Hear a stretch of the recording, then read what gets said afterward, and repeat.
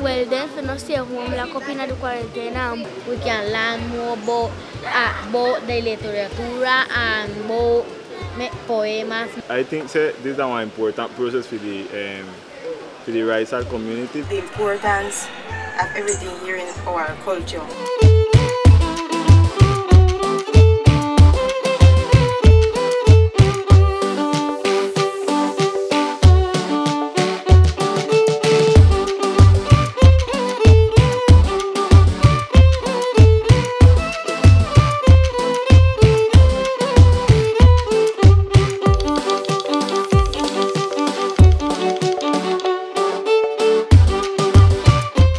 Que se ha dado este espacio, que el Green Moon, este 2020. Little by little we're coming up, so I'm really thankful for the Green Moon Festival. I hope we continue making next year.